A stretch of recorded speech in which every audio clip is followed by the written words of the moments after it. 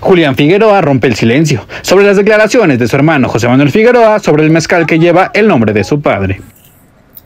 Ah, pues, está bien. Según yo está muy bueno el mezcal. Este, por lo que me cuentan mis hermanas, está, muy rico el mezcal. Entonces, este, aparte creo que cualquier cosa que tenga el nombre de mi papá, pues mi deber es este es apoyarlo, ¿no? Y pues José Manuel pues tiene su, su derecho a, ¿no? a, a expresarse. Ah, en eso sí estoy de acuerdo con él. Estuvo horrible la estatua que puso.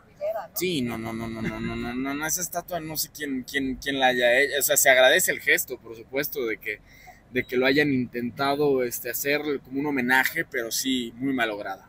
El hijo del rey del jaripeo ya está más que listo para sacar a la luz su próximo material discográfico, bajo la producción de Amanda Miguel y Ana Victoria. Salir aproximadamente en agosto, precisamente ayer me junté con, con, con Ana Victoria y con Amanda y va a salir en agosto.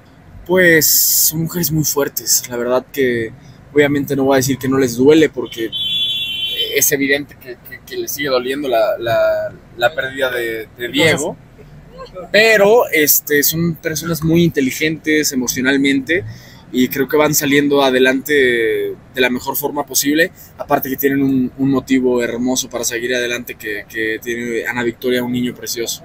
El también hijo de Maribel Guardia se encuentra trabajando en un nuevo proyecto actoral y esto es lo que nos platica sobre su nuevo personaje. Tengo ahorita un gran proyecto, es este, Los Caminos del Amor, la, la nueva novela producida por, por Nicandro Díaz. Entonces, eso es un honor. ¿no? Ajá, sí, ya se ¿Cómo está destapó. tu personaje?